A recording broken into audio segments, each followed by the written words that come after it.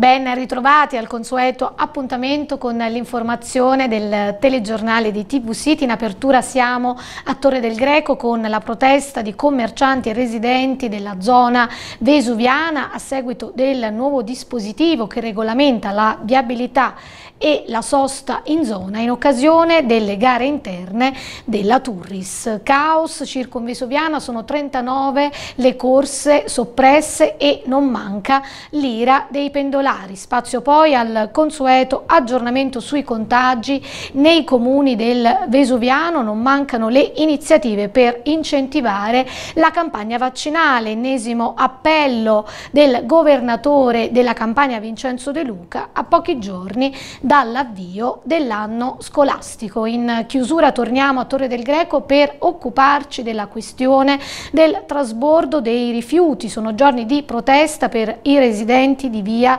Sant'Elena. Ne abbiamo parlato con il consigliere del Movimento 5 Stelle Vincenzo Salerno. Questo ed altro, guardiamo i servizi.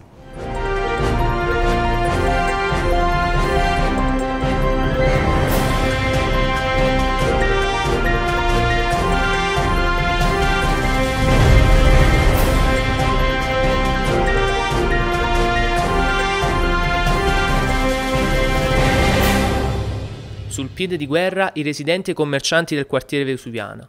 Alla base del malcontento l'ordinanza del comune che blocca la viabilità e non permette la sosta di autoveicoli per otto ore, in occasione delle gare interne della Turris, che si terranno presso lo stadio Liguri.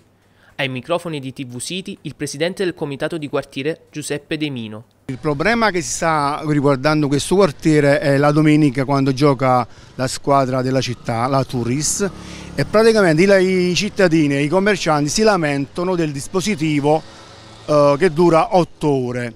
Cioè è impossibile eh, eh, emanare un dispositivo che dura otto ore bloccando non solo un intero quartiere ma ma anche i commercianti che non riescono più, diciamo, più a, a, vendere i loro prodotti perché il, il dispositivo avviene dalle, alle 14.30 quando gioca alle, 17, alle ore 17.30, poi dipende anche dagli orari. Noi vi chiediamo un, un incontro con, con, il comandante Visone per trovare una giusta soluzione. La nostra proposta è di invece di 8 ore magari di portarlo a 4 ore questo dispositivo. Questo è un sequestro di persone perché uno torna dal mare, trova tutto bloccato, con quella pioggia che ha fatto domenica non potevo tornare a casa perché di qua non mi facevano passare e di giù non mi facevano passare. Sono dovuto stare in macchina, poi mi, sono, ho portato la macchina in un parcheggio e sono tornato a casa. Questo è un sequestro di persone, non so chi, chi ha la competenza di, di fare queste cose, a Napoli si dice proprio assurde. Siamo ostaggi in casa nostra. Questo è l'allarme lanciato dai cittadini, che chiedono soluzioni immediate all'amministrazione comunale. Disagi analoghi anche per i commercianti. Da tutti la richiesta di una riduzione dell'orario del dispositivo. In poche parole è un grande disagio il non poter parcheggiare tante ore prima. Punto. Noi già siamo costretti a pagare una certa cifra durante la settimana per le strisce blu, quindi è diciamo, un dispendio economico tutta la settimana in più ogni 15 giorni affrontare questa problematica delle partite con la strada chiusa di 4 ore prima è un grandissimo disagio, una perdita di tempo e diciamo che è un dispendio economico perché noi la macchina dobbiamo andarla a mettere in un parcheggio a pagamento durante le partite della Turis. Soprattutto secondo me c'è bisogno di più organizzazione. Siamo qui con un commerciante della zona, lei quali problemi ha riscontrato? Effettivamente bloccare diciamo, il passaggio delle auto e dei pedoni diciamo, 4 ore prima della partita eh, effettivamente ci porta dei danni. Sarebbe auspicabile insomma, bloccarlo un'ora prima in modo da alleggerire un po' questa, questa, situazione. Parlo non solo a nome mio ma a nome di tutti i commercianti della zona e anche delle persone che abitano. E la cosa non creerebbe problemi né alla, diciamo, alla, alla, alla viabilità e neanche alla, alla sicurezza diciamo, della, per gli spettatori che vanno a vedere la partita. Credo che sia la cosa più giusta, se la potete valutare. Già c'è un po' di crisi, poi ci chiudono le strade per una partita, insomma non è giusto che paghiamo noi le pene, per l'amor di Dio dobbiamo lavorare tutto, anche il calcio è un lavoro, però chiudere completamente una strada come io che vendo pane, c'è la pasticceria, c'è Ientile, insomma ci sono i residenti, io abito anche qua, quindi è impossibile proprio circolare quella mezza giornata della domenica insomma e si potrebbe fare diversamente io penso. Voglio fare un appello all'assessore della viabilità che comunque se può risolvere qualcosina perché eh, non si può andare avanti in questa situazione perché comunque è un danno per tutti noi commercianti della zona ma pure per i residenti perché comunque chiudere una strada quattro ore prima, riaprirla quattro ore dopo è comunque un danno.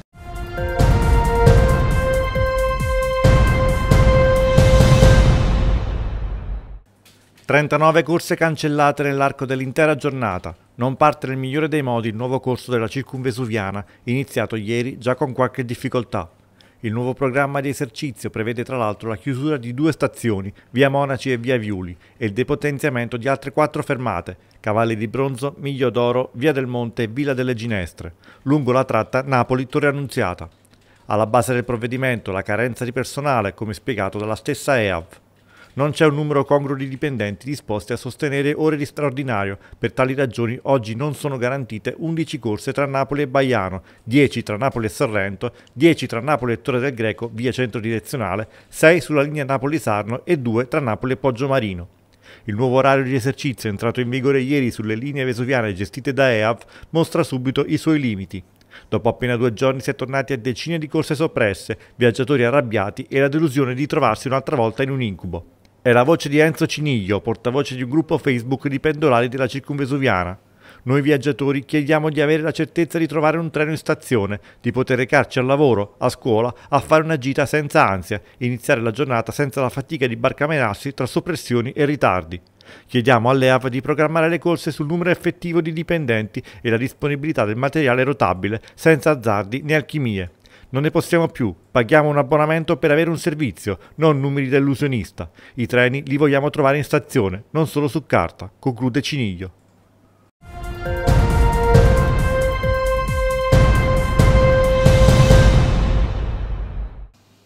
Contagi stabili nel comune corallino. Il comune di Torre del Greco nelle ultime 24 ore registra 21 nuovi casi di positività, numero esattamente uguale per quanto riguarda le nuove guarigioni. Rimane invariato dunque il bilancio dei contagi con 144 attualmente positivi, di cui 9 ospedalizzati.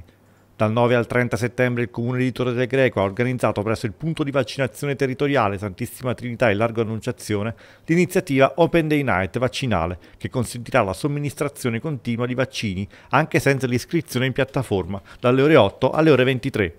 A supporto dell'iniziativa e al fine di incentivare la partecipazione giovanile, piena l'adesione della SS Turiscalcio, che metterà a disposizione 20 biglietti per ogni singola competizione in occasione di quattro partite interne di campionato a Liguori.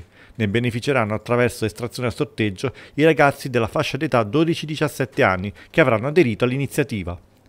Anche il comune di Torre Annunziata lavora per accelerare la campagna vaccinale tramite un appuntamento fissato per venerdì 10 settembre dalle ore 19 alle ore 24 in villa comunale. Sarà necessario esibire esclusivamente un documento di identità e la tessera sanitaria.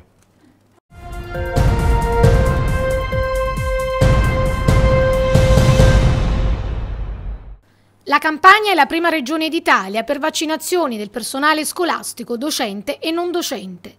Adesso dobbiamo fare uno sforzo ulteriore per vaccinare gli studenti. Ennesimo appello del governatore della Campania Vincenzo De Luca ad una settimana dall'avvio dell'anno scolastico. Credo con grande senso di responsabilità. Abbiamo fatto una riunione importante qualche giorno fa con i dirigenti scolastici. Abbiamo un elemento di grande tranquillità perché la Campania è la regione più avanzata d'Italia per la vaccinazione del personale scolastico, docente e non docente, ma dobbiamo fare uno sforzo ulteriore per vaccinare gli studenti. Come si fa a non capire che vaccinarsi tutti serve a riprenderci la vita e a tenere aperta l'economia del nostro paese? Prosegue De Luca per evitare di dover richiudere fra due mesi bar, ristoranti, fabbriche, attività commerciali. Abbiamo ascoltato ieri l'appello appassionato del Presidente della Repubblica, ma come si fa a non capire che vaccinarsi tutti serve a riprenderci la vita, come diciamo noi, e a tenere aperta l'economia del nostro Paese per evitare di dover chiudere fra due mesi bar, ristoranti, fabbriche, attività commerciali. Il governatore si appella al senso di responsabilità di tutti, soprattutto per far sì che la scuola prosegua in presenza. Se immunizziamo anche la popolazione studentesca, conclude il governatore, allora davvero potremo avere un anno scolastico in grande serenità.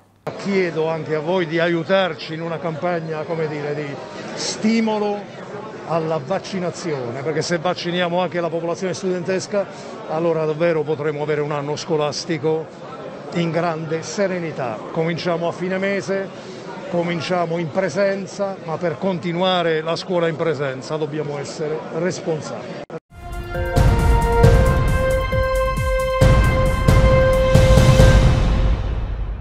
Disagi per i residenti di via eh, Sant'Elena a causa del trasbordo dei rifiuti, che cosa sta succedendo? Sono, se non erro, sette giorni con oggi che i cittadini di Viale Sant'Elena ormai presidiano la strada perché stanchi ed esausti di eh, mesi in cui avvengono queste pratiche in maniera molesta con conseguenze eh, alla salubrità dell'aria, alla tranquillità notturna e alle condizioni igieniche della strada. In realtà è una, una problematica che un anno fa interessava eh, gli abitanti della zona del parcheggio Palazzo Palatucci che non ha mai abbandonato Viale Santa Elena, che ha interessato Via Cupamonti, che è una criticità cittadina diffusa eh, su tutto il territorio da una palla avvelenata che rimbalza di quartiere in quartiere. Come andrebbe gestito questo trasbordo? Eh, il trasbordo è una tecnica che avviene in tutta Italia. Eh, è permessa nel nostro caso specifico dalla legge regionale e che lo consente sul suolo pubblico. Il punto è, è quello che succede a Torre del Greco, perché eh, a prescindere dal fatto che la legge è molto puntuale, eh, prevede che venga fatta in zone a bassa densità abitativa per un periodo limitato eh, con caratteri di eccezionalità e per esigenza tecnica. Sulla densità abitativa è evidente che i quartieri che ho prima citato sono altamente eh, abitati, ma eh, il trasbordo dalle nostre nella nostra città diventa una criticità perché è il frutto di una serie di, eh, di scelte sbagliate e di errori nella gestione. Se un servizio che dovrebbe iniziare alle 4.20 del mattino inizia già alle 22, quindi con, in, ancora in pieno orario di conferimento ed è diluito per tutta la notte, se gli automezzi impiegati non sono quelli previsti dal bando, se eh, si lavora eh, con eh, un sottorganico in termini di, di unità e magari anche con sovrapposizione di turno, è chiaro che già il sistema sistema è prossimo al collasso, per cui il trasbordo è l'unico modo per non farlo collassare e anziché durare per un periodo limitato, dura per ore e ore a discapito dei cittadini del, del posto e soprattutto viene addirittura programmato perché senza di esso si andrebbe eh, ancora più in difficoltà nonostante le condizioni igieniche cittadine sono eh, abbastanza evidenti al limite della, della, della decenza responsabilità della ditta che gestisce, ma anche responsabilità dell'amministrazione comunale. Eh, le responsabilità sono diffuse, noi sono mesi che eh, accendiamo i fari sul trasbordo proprio perché sono, eh, questa pratica diventa una foto del, dell'intero sistema. Il trasbordo secondo la legge deve essere fatto col presidio comunale, invece da noi avviene senza alcun presidio, quindi anche le condizioni in cui viene svolto eh, non sono controllate dall'amministrazione. Quindi è chiaro che quando poi ci sono tutte queste mancanze che si accavallano, poi si, la situazione degenera e tutta a discapito dei cittadini che vivono nelle zone dove si pratica eh, tutto ciò. Quindi anche in questo caso la gestione dei rifiuti a Torre del Greco lascia a desiderare. Lascia desiderare anche un eufemismo in alcuni, in alcuni momenti, è estremamente fallimentare ma eh, sono questi mesi di esperienza quotidiana che, che lo attestano.